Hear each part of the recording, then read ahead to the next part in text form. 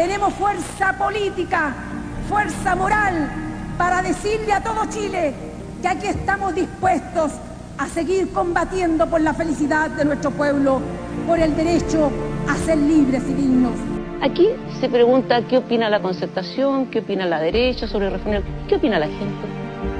¿Cuándo se va a hacer participar en esta política, en la política de hoy, en la política y los consensos? Nosotros como partido queremos representar una parte de la población, pero a una parte. Pero ni siquiera todos los partidos representamos la totalidad de la población. Esa es la concepción equivocada. La política hecha por determinados partidos y pretender, ¿quién les ha dicho a ustedes que tienen la verdad? Que el bipartidismo va a asegurar la estabilidad democrática. ¡Viva la gente que lucha! ¡Viva el socialismo!